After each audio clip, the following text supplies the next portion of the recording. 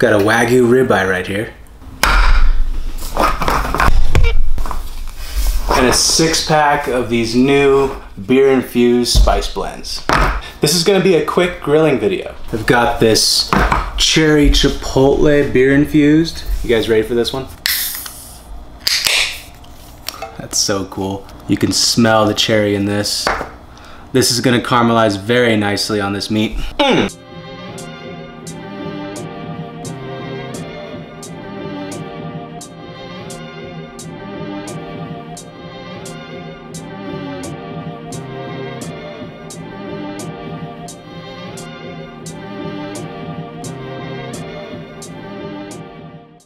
Okay, so look, this one's gonna be very simple. I'm gonna go ahead and take this, trim it up, and we're gonna put it on these little skewers right here. We're gonna make some beef satays. So I'm gonna start by trimming up the meat.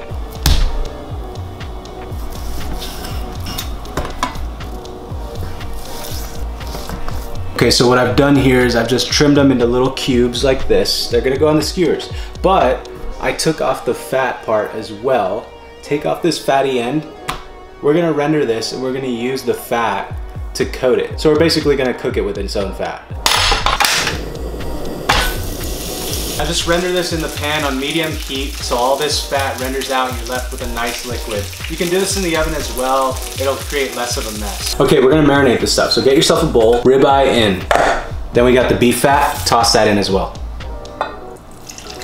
Cherry chipotle rub, good amount of that.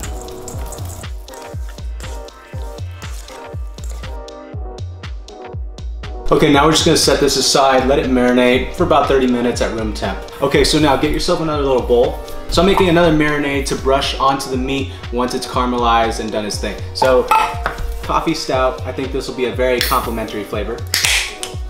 About a quarter cup of that in the bowl. Then we'll just add about a quarter cup of oil, canola oil and then rice wine vinegar to taste. And there we have a nice little glaze to brush on once it comes off the grill. Okay, now all there's left to do is skewer them up just like this. I like to keep my skewers in water so when you grill them off, they don't burn. So just skewer them up as many as you want per stick, and then now all there's left to do is grill them off. Okay, so here's the breakdown on this real quick. I went ahead and loaded up my hibachi. It's just a little grill that I got at some Asian store back then. Lodge makes them. I'll put a link down below. Go ahead and sear them off to the temperature of your liking. I like mine to be mid-rare, so I just get a hard sear. Once you turn it, go ahead and brush it with that really nice coffee glaze, then turn it over, brush it again, and there you have it. Throw it on a sheet tray. There you go. You've got meat on a stick. Beautiful, delicious. Very happy with the way these turned out. And of course, once again, these rubs, they just paired so nicely with this Wagyu beef. Just look at that glaze on there.